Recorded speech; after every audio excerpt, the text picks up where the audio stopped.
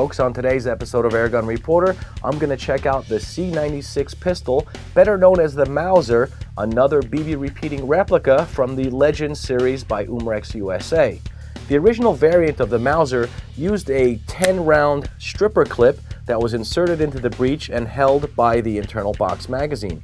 This one is actually closer to a variant of the C96 which was the M712 Schnellfeuer, which means rapid fire in German, because it used a drop-free magazine and had a fire selection switch on the left side for single shot and rapid fire. But the very coolest part about the Mauser is that it was used as the base by prop builders to make Han Solo's blaster from Star Wars. That's right, with a little bit of ingenuity, some model work, you can have your very own movie prop. Hope you enjoy the show.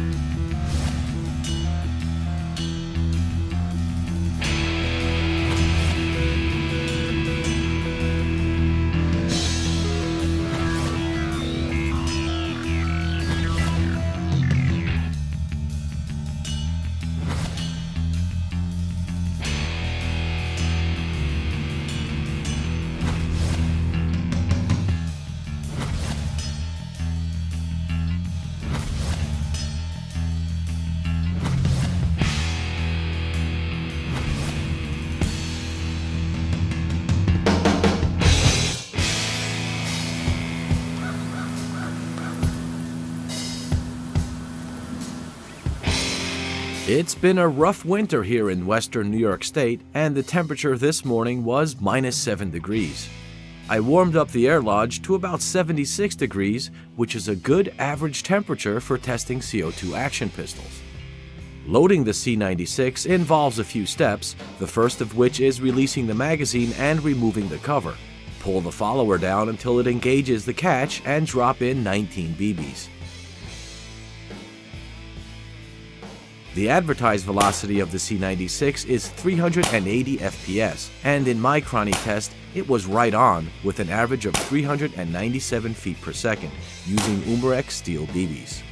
This was my first time shooting the C96, and I was surprised at how much fun it was. The blowback action was crisp and had a nice snap to it.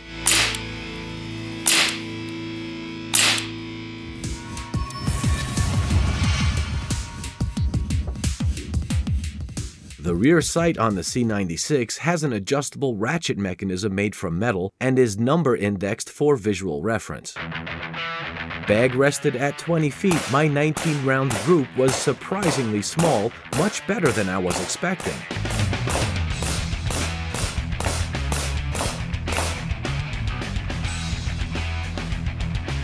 Offhand shooting accuracy was very good as well, with that broom handle pistol grip and box magazine providing a stable hold.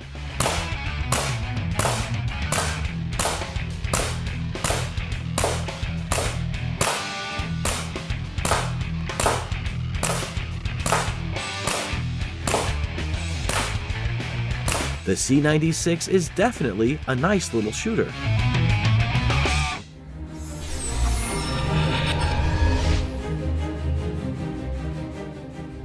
The C96 has a single action trigger and along with the hammer and safety lever is made from die-cast metal. The spring-loaded pull is super smooth with no mechanical grinding and breaks cleanly just when you expect it to.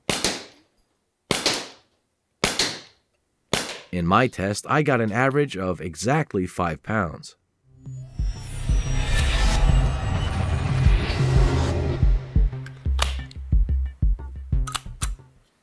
The C96 is indoor and backyard friendly at 89.9 decibels, and it's also economical, giving you about 120 shots per CO2 cartridge.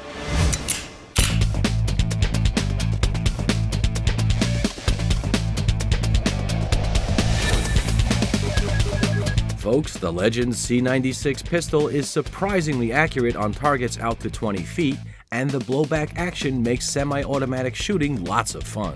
Visually, it's a close replica of the M712 Mauser broom handle variant.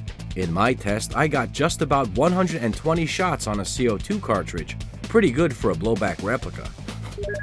I was disappointed in the plastic frame, having hoped for a full die-cast construction similar to the Legends P08 Luger. If you're a fan of historical sidearms, the C96 is worthy of your collection, a conversation piece with a worldwide service history that goes back over a century. And let's not forget, you can always modify it to look just like the blaster that the lovable scoundrel from Star Wars carried. For Airgun Reporter, my name is Paul Capello. Until next time, please shoot safe and have fun.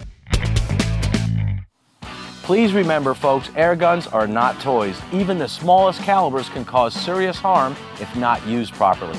And you should never, under any circumstance, point an airgun at another person.